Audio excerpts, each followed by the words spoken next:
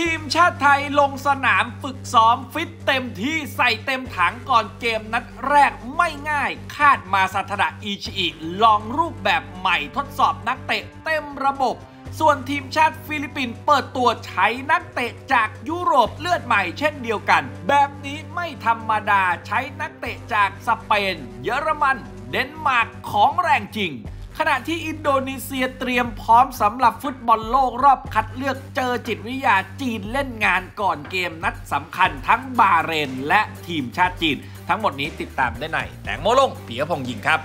สวัสดีครับแตงโมลงเปียพงยิงวันนี้ครับ เราเริ่มกันที่ Kings Cup กันก่อนเลยนะครับ นักเตะทีมชาติไทยนี่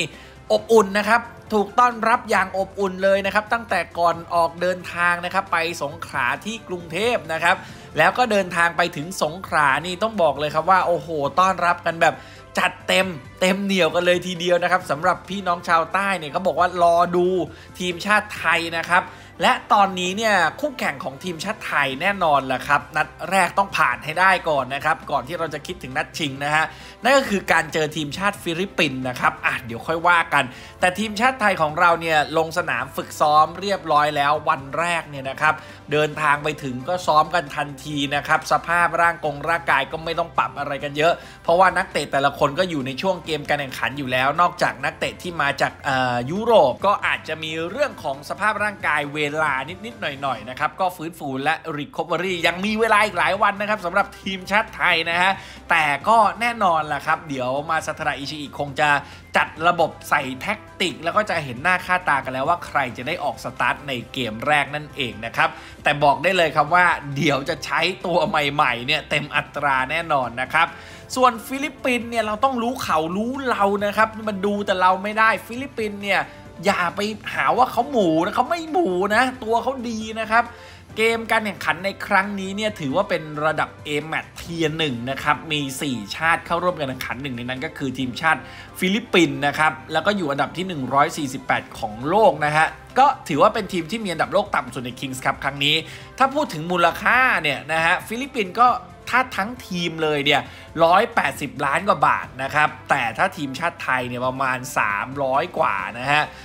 315 316 อะไรประมาณนี้นะครับ ก็คือต่างกันเกือบครึ่งในเรื่องของมูลค่าทางการตลาดนั่นเองนะครับ ขุนพลตากาล็อกเข้าร่วมการแข่งขันครั้งนี้เป็นครั้งแรกในประวัติศาสตร์นะครับ หลังจากมีการจัดมาแล้ว 49 ครั้งก็แกยังไม่เคยมา Kings Cup นะ ครั้งนี้เนี่ยเออเราเชิญมาเขาก็จัดเต็มเหมือนกันนำทัพโดยนักเตะที่อยู่ในไทยลีกเนี่ยอย่างเจฟเฟอร์สันทาบินาสแบ็กซ้ายของบุรีรัมย์ ยูไนเต็ดอามานีอากีนัลโดแนวรับจากระยองโจชัวกรอมเมนดาวเตะจากอุทัยคือ 3 คนนี้ก็ถือว่าโอ้โหนักเตะเกรด A ของเขานะ รวมถึงกองกลางจากเมืองทองนะฮะ อย่างจอห์น แพทริก สเตราส์หรือว่าสกอตต์วูดส์เนี่ย โอ้นี่ต้องบอกว่ามาเต็มขณะที่ผลงานล่าสุดของฟิลิปปินส์ก็เพิ่งเดินทางไปอุ่นเครื่องรายการเมอร์เดก้าครับที่มาเลเซียนะครับต้นเดือนกันยาโดยจบอันดับที่ 4 หลังโดนจุดโทษแพ้ทาจิกิสถาน ในรอบชิงอันดับที่ 3 ซึ่งเป็นการทำทีมของนอร์แมนเฟกิเดโรกุนซือชั่วคราว ปัจจุบันทีมชาติฟิลิปปินส์ได้มีการแต่งตั้งโค้ชคนใหม่แล้วนะครับนั่นคืออัลเบิร์ต คาเปยาสกุนซือชาวสเปนวัย 56 ปีนั่นเองนะครับเขาก็เลยเรียกนักเตะจากยุโรปเนี่ยมาพอสมควรเลยนะ แต่ก็ต้องบอกว่าน่าเสียดาย เพราะว่านีเอเทริชเนี่ยไม่ได้มาร่วมแข่งขันในครั้งนี้นะ ถ้ามานี่บอกได้เลยเซฟยับนะฮะนอกเหนือจากนักเตะที่เล่นอยู่ในไทยที่ผมบอกไปแล้วเนี่ยนะครับก็จะมีมาจากกราสฮอปเปอร์ซูริกด้วยนะครับมิเชลแคมป์เตอร์นะครับ อายุ 29 ปีในแนวรับ อันนี้ก็มาไกลนะ หรือจากสเปนนะฮะ จากโคลาโดนะครับ บิลาบ้านะฮะ อันนี้มาจากสเปนกองหลังวัย 19 ปี หรือว่าจากทางด้านของโครเอเชียก็มานะครับ พอล ทาบินาสนะครับ น่าจะเป็นพี่น้องกับเจฟเฟอร์สัน ทาบินาสนะครับ มาด้วย อ้าว เดี๋ยวรอดูฟอร์มว่าดีเปล่า จากนิวเม็กซิโกยูไนเต็ดสหรัฐอเมริกาก็มานะครับซิโกเบรี่นะครับจากเยอรมันอินเกรโซเคยอยู่กับบุรีรัมยูไนเต็ดก็มานะครับหรือว่าจากกุนเตอร์สล็อตนะครับซานโดเรเยส อย่างเงี้ยครับโหอันนี้เราเคยเห็นฝีเท้าแล้วตั้งแต่รุ่นเยาวชนคนนี้ใช้ได้เลยนะครับ แล้วก็ยังมีมาจากเบลเยียมนะครับ มีมาจากเดนมาร์กครับ โอ้โห เซบาสเตียนรามูเซน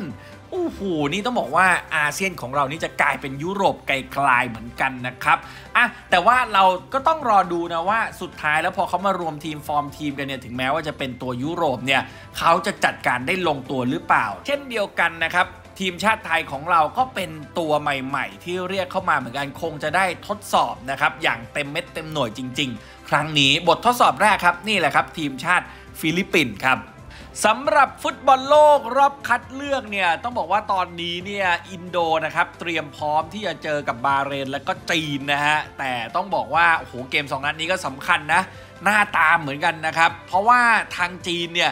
ถ้าเจอกับทีมจากอาเซียนเนี่ยจะจิตวิทยาใส่นะครับ ซึ่งอินโดก็โดนนะครับ แต่อินโดไม่กลัวครับข่าวนี้นะครับ ต้องบอกว่าสื่อของอินโดนีเซียในตีข่าวนะครับ มองโลกในแง่ดี ว่าจะเก็บแต้มในการเจอกับทีมชาติจีนได้นะครับ เพราะว่าทีมชาติอินโดเนี่ยสามารถที่จะเก็บ 2 แต้ม จาก 2 นัดแรกได้มาแล้วนะครับ การที่จะเจอกับจีนแล้วก็ทางด้านของบาเรนเนี่ยไม่น่าที่จะมีปัญหาอะไรนะครับทำผลงานได้ยอดเยี่ยมมีแต่ความมั่นใจนะครับ แล้วก็จะเล่นนะครับในการเดินทางไปเยือนบาเรน และก็เล่นกับจีนนะครับในการที่จะต้องเป็นเกมเยือนอีกเช่นเดียวกัน ทางอินโดบอกว่าถ้าจีนพูดอะไรมาเนี่ย มันจะไม่กระทบต่อการทำทีมหรือว่าการเตรียมตัวของพวกเขาแน่นอนครับ ซึ่งทางรัฐบาลของอินโดเนี่ยนะครับ ตอนนี้เขาโหมโรงมากเขาบอกว่าสนับสนุนฟุตบอลทีมชาติอินโดเต็มที่ในการเปลี่ยนนะครับ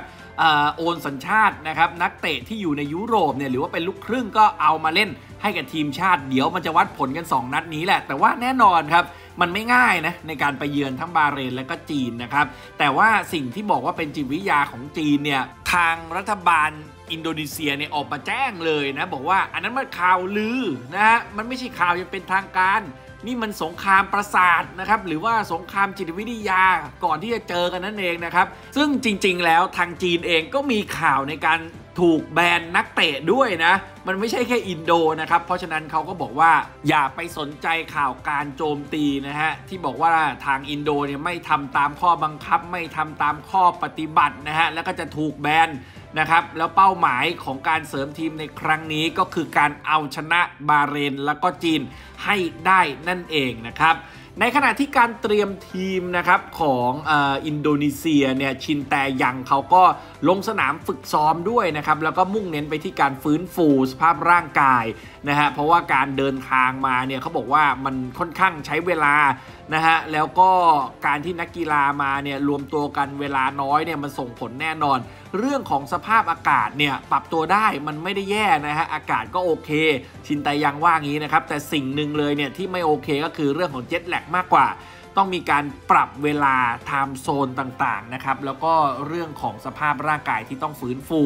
ซึ่งแน่นอนนะครับในการซ้อมช่วงแรกโค้ชชินแตยังให้ฝึกแบบเบาๆ เท่านั้น หลังจากนั้นจะมีการติวเข้มรายละเอียดใส่แท็กติกต่างๆ ในวันถัดไปนะครับขณะเดียวกันนะครับพวกเขาก็มีข่าวไม่สู้ดีเหมือนกันนะครับที่ 2 แต้มที่เก็บมาได้เนี่ยเอาจริงต้องยอมรับนะฮะว่าได้มาจากมาเทสแพร ผู้รักษาประตูตัวเก่งจากดัลลัสสหรัฐอเมริกานั่นเองนะครับ ตอนนี้เนี่ยมีข่าวว่าได้รับบาดเจ็บงานจะเข้าเอาฮะบอกว่ามีอาการบาดเจ็บ โอ้โห ถ้าผู้รักษาประตู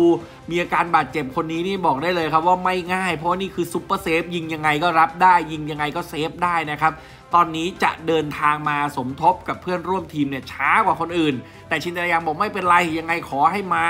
นะครับ ราะว่าการแข่งขัน 2 นัดสุดท้ายนะครับข้อมูลจากดัลลัสเนี่ยที่มีการเปิดเผยมาจากของอินโดเนี่ยบอกว่ามีการบาดเจ็บที่ข้อมือนะครับแล้วก็พลาดการลงเล่นด้วยนะครับไม่รู้ว่าหายทันหรือไม่นะฮะแต่ยังไงก็คาดว่าน่าจะต้องตามมาสมทบ เพราะนี่คือความหวังในการลุยฟุตบอลโลกนะครับ แต่ยังไงก็แล้วแต่ตัวหลักๆ ตัวอื่นๆเนี่ยก็ยังมีรายงานมาว่าเรื่องการลงสนามให้กับสโมสรเนี่ยมีอาการบาดเจ็บเล็กๆ น้อยๆนะครับแต่ก็ยังไม่ได้มีข่าวถอนตัวอะไรนะครับ เดี๋ยวต้องรอดูต่อว่าอินโดนีเซียเนี่ยการเล่นฟุตบอลโลกในรอบคัดเลือกกลุ่ม C เนี่ยนะครับในการเจอกันกับบาเรนไปเยือนวันที่ 10 ตุลา แล้วก็เยือนจีน 15 ตุลาจะเก็บมาได้สักกี่แต้ม แต่พวกเขาบอกว่า 4 แต้มเป็นอย่างน้อยนั่นเองนะครับ เอาละครับ และนี่คือทั้งหมดทั้งมวล ถ้าหากว่าชื่นชอบอย่าลืมกดไลค์ กดแชร์ กด Subscribe กดกระดิ่งแจ้งเตือนจะได้ไม่พลาดทุกคลิปความเคลื่อนไหว วันนี้ลาไปก่อน สวัสดีครับ มาแล้วทริป VIP สุด exclusive ลุยดูพรีเมียร์ลีกถึงประเทศอังกฤษแมนเชสเตอร์ยูไนเต็ดปะทะปืนใหญ่อาร์เซนอลพร้อมเกมเดือดหงส์แดงลิเวอร์พูลปะทะนักบุญเซาท์แฮมป์ตันทัวร์สนามฟุตบอลยักษ์ใหญ่แดนผู้ดีเที่ยวชมนครมหาวิหารโบราณของอังกฤษ และเป็นมรดกโลกยูเนสโก ช้อปปิ้งกลางกรุงลอนดอน กินหรูอยู่สบายกับผมแตงโมพงพิสุทธิ์ผิวอ่อน พร้อมออกเดินทาง 6-14 มีนาคม 68 สนใจติดต่อตามรายละเอียดด้านล่างนี้ ครั้งหนึ่งในชีวิตที่คอบอลไม่ควรพลาด